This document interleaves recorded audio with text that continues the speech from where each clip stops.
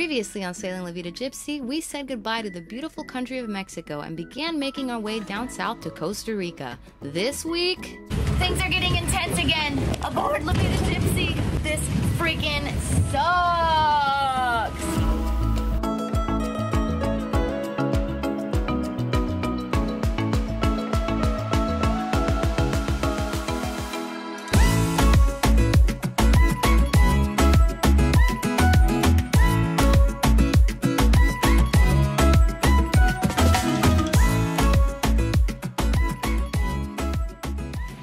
Hey guys, I'm on my night shift. I don't want to be too loud because I don't want to wake her up.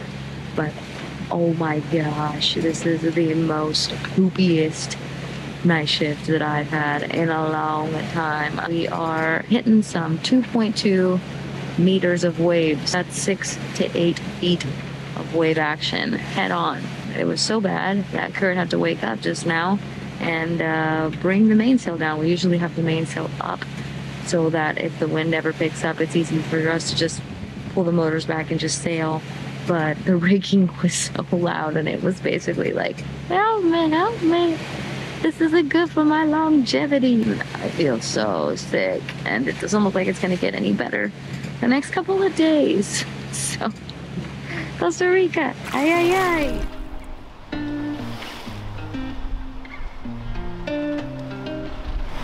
Guys, it's gotten a little crazy this morning. I haven't even really woken up. It's still dark, the sun's just coming up, but uh, the wind's picked up from doing nothing. We actually had the motors on to uh, gusting over 20s. So I put a reef in and uh, got the sails going. We're uh, close hauled and we are moving. So uh, the waves are picking up, the sea state's picking up. It's gonna be a rough morning. Linda is still trying to sleep right now. I'm hoping that uh, the waves are rocking her to sleep, but I have a feeling that the pounding is probably uh, waking her up.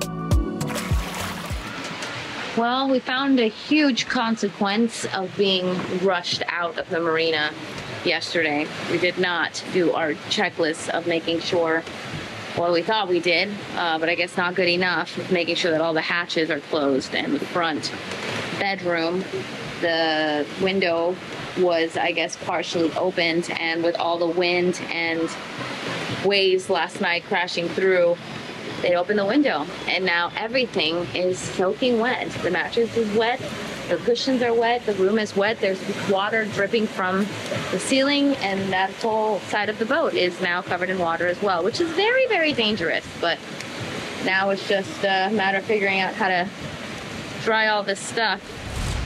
Today has been a day of highs and lows like figuratively and literally. This wave action has been not bueno. 24 hours of this crap, I'm pretty much over it. But two hours away from our next little flag thing, we're gonna take down Guatemala and put up El Salvador. So that's good. And I was a smart girl and I prepared some chili for this passage. So I'm not gonna have to be in the galley for too long. I'm just gonna heat up some chili, put it in a bowl, throw some cheese, give some saltine crackers up on that. It's gonna be a nice hearty meal.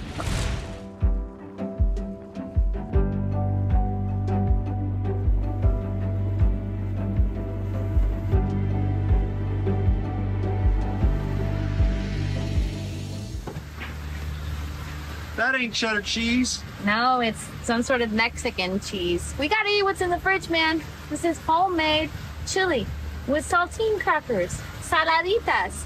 Bon appetit. Here.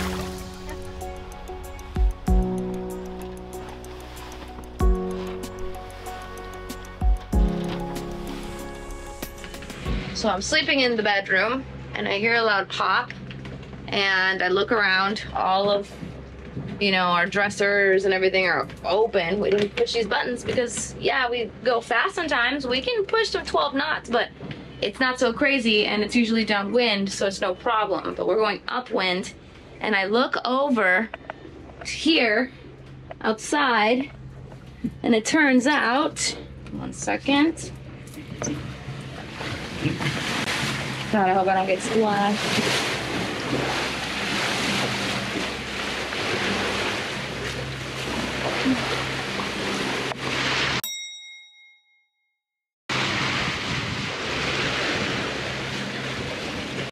What you are seeing out there is the hatch for our life raft. So that rope popped because of the force of the waves. I'm actually going to close this because waves may come in here and then we're going to have bigger problems again. So the wave action broke broke that rope free. And if that other rope breaks free, everything is going to go to the sea without us and that is not the plan. So now Kurt has to think of a way to fix this. We might have to uh, heave to here or stop the boat uh, if the waves calm down and figure out something.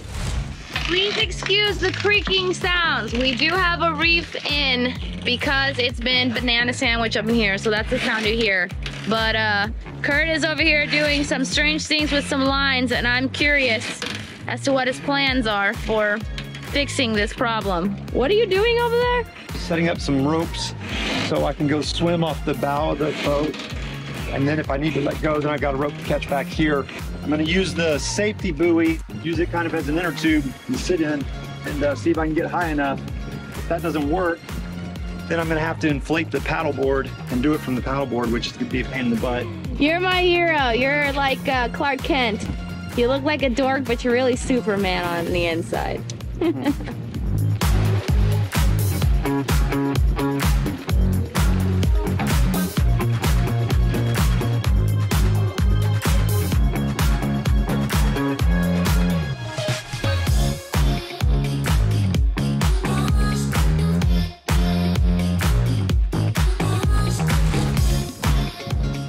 No go, huh?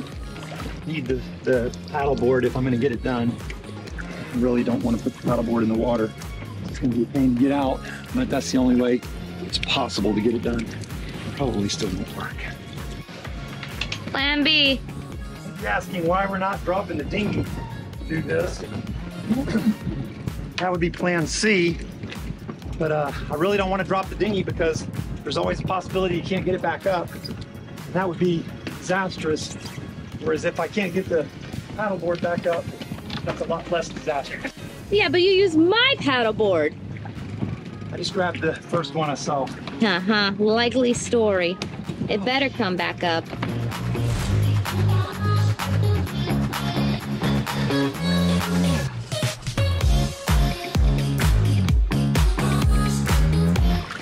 Looks like you got it. Did you get it? Well, it's in there better than it was or whatever, but uh, I didn't get it all the way in. It's missing a washer, so once we get to a place where we can anchor, I've got to take it out, add washer, and then get it in there good.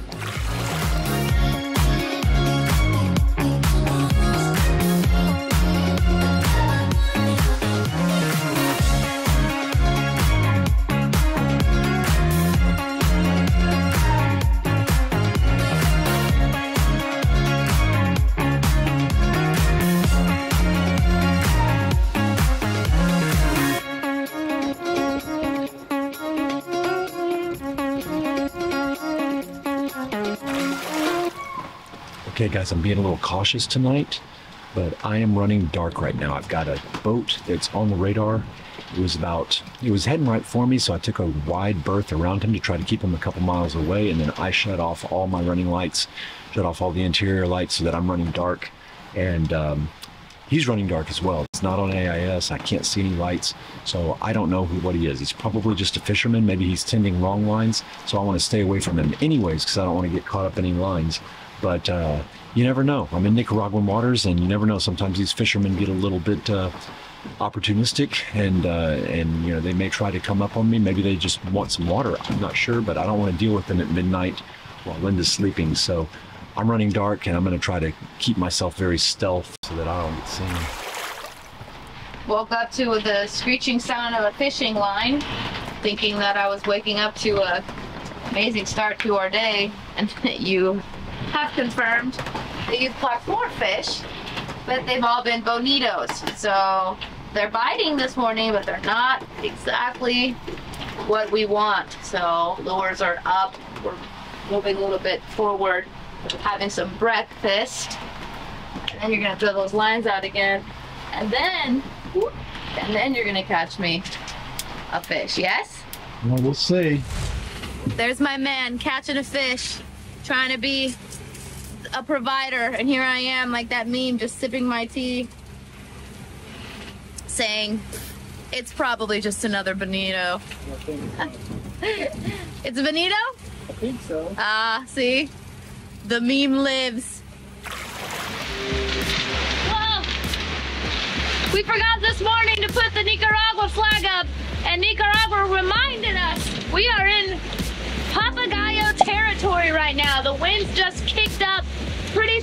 Kurt was like, oh, finally some wind. Let's uh, get the sails out.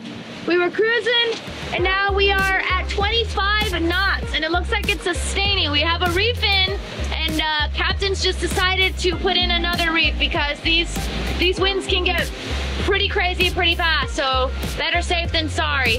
Times like these, we do not mess around. We've got our uh, life jackets always ready to go. We've also got some lines. And Kurt, again, being a good captain, you're the best. Put some jack lines out. I think it's what they're called. I don't know, safety lines. So they go from the bow to the back and you get this and hook it in and then you can move back and forth whatever happens. We haven't had anything crazy happen yet, but we're ready! Put that reef in quick!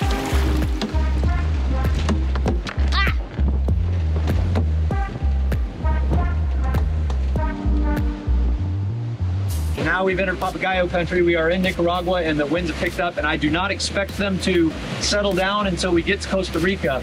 We're uh, we're already in the 27 to 30 knot range and we're not even in the uh, the, the worst of it uh, spot. Uh, as we get further south, they're supposed to get a little stronger. Right now, everything's smooth. We got a reef in the, the main and a reef in the head sail and the uh, sea state is okay. It hasn't built up too much, so we're just getting sprayed a little bit, a little bit of water across the bow, but that's all right. We're a big boat. We sit up high, so everything's all good. I think we'll be good uh, as long as we don't get, you know, much above 40 or so, we should be fine. So we've got a little extra room to uh, to, to grow. I'm all right.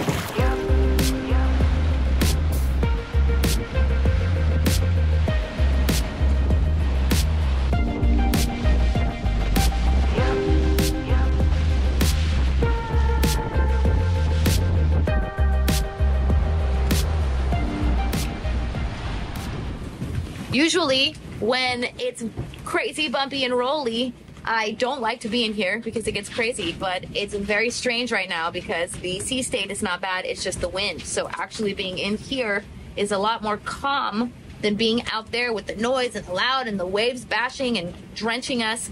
However, because we've got, you know, 30 plus knots and stuff, this is a two man and woman uh, type of thing. So I need to be ready and on deck to help Kurt out. It's our first time dealing with this stuff. Even after the 20th time dealing with this stuff, I think we're we're a good team and we support each other and just having each other around, knowing that the other person is readily available if anything happens always gives you that sense of security.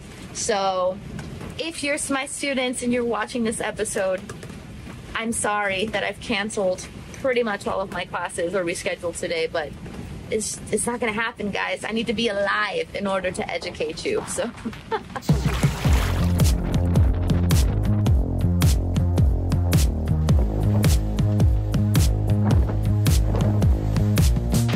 okay, we've got the second. Ooh, we got the second reef in, and we're still getting pretty hammered. It's only gonna get worse from here. So, new plan is we are getting getting. We're getting blasted, is what we're getting.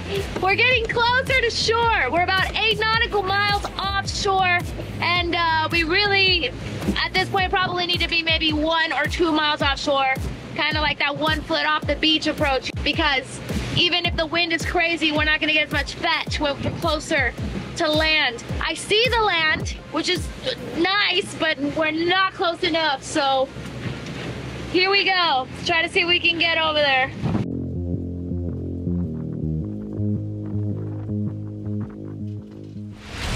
Woo!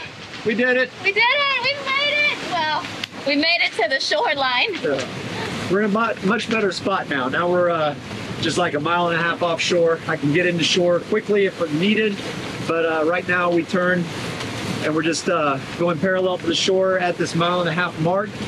We uh, have two reefs in the head sail, two reefs in the mainsail, and even so, we're going nine knots right now.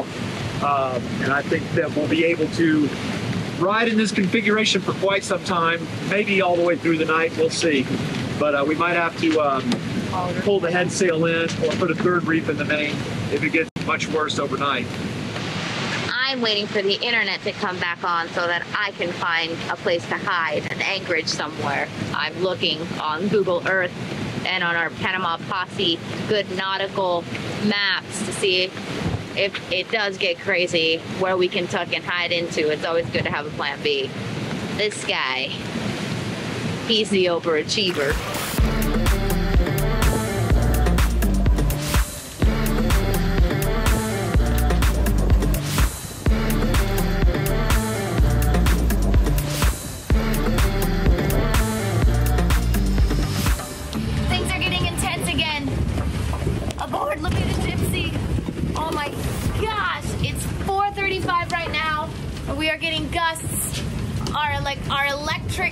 Turning on and off. Our lights are turning on and off. Shit is breaking. I'm so sorry to curse right now, but this freaking sucks. Ah, goddamn. Broken. Everything is literally all over the place right now. I got Kurt at the helm right now, but I'm gonna just go downstairs and check and make sure nothing's broken or leaking again because we are getting pummeled. Everything seems to be fine down here, but like I said, our lights are just turning on and off. Oh god, all my orange juices, my storage provisioning is busted. Oh, this light won't turn off.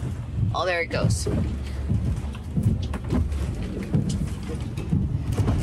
Ow, my freaking elbow. Okay, I'm gonna go check the other room now. Everything looks good. We're not sinking. It sounds like we're gonna sink every time a big wave comes. It's just. Ugh. Ah, it's rough.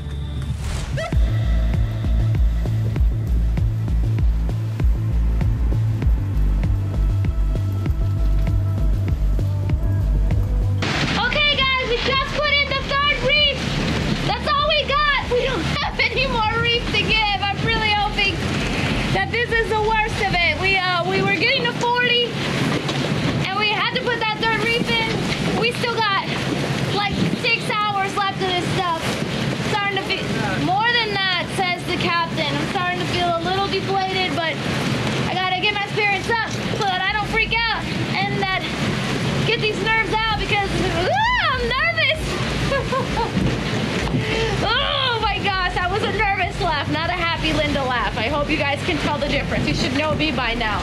This is not my cup of tea. I did not sign up for this. All right, guys, I've been spending the day getting soaked, sprayed.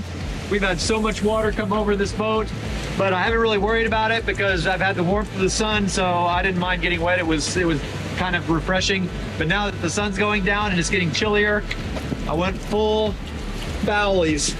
So uh, I've got my hood here. I've got uh, little something to keep my nose warm. So if it gets crazy again this evening, I'm ready. And if I'm it ready. doesn't get crazy for any reason, at least you know you look cool. You look like a ninja. There you go. And for tonight's wonderful five-star dinner, we weren't even gonna make dinner, but I figured he needed the energy. He's still got some cough in him. He's still sick, so. We're eating the ramen. The ramen's blowing away. Bon appetit. You're the best captain ever.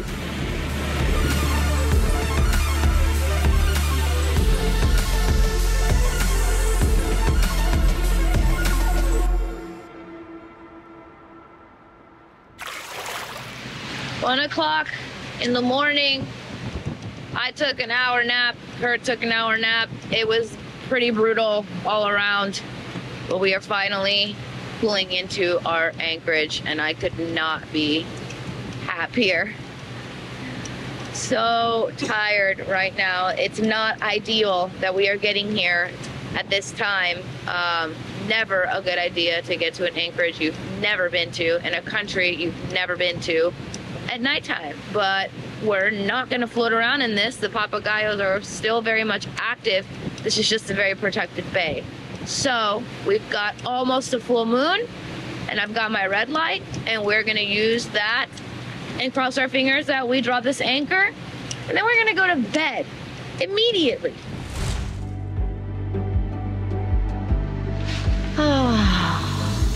Oh my god, I'm so tired. Costa Rica, we made it. Ay, ay, ay. Ay, ay, ay. It looks like a bomb went off in this boat after all the banging and beating that we did upwind. Everything fell. We have a few items broken, I think. So we're gonna go to bed and then uh, show you the uh, the carnage tomorrow morning, and then get it all picked up. But right now we need some rest. It's been a, a long one.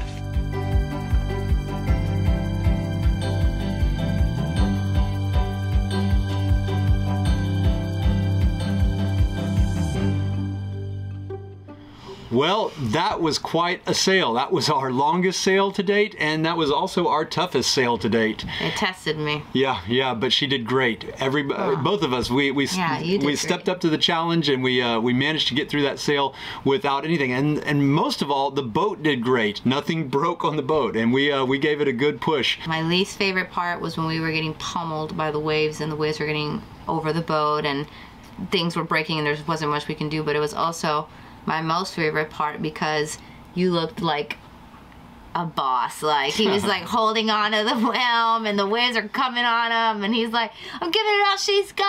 And I was like, wow, this guy's a good captain. So But we're not out of the woods yet. Stick with us next week because we may have an even tougher sail coming up. We've got to. We still have to get that? around the corner to uh, to check into this country, and we've got more winds ahead of us. Yep, don't miss out on that. So if it's your first time here, make sure that you guys hit subscribe. Um, if you've been here before, subscribe anyway. Patrons, you put way too much wind in our sails this time around, but we really appreciate the love and support. But thank you so much for everything. And that's it. We'll see you guys next week. See you next week.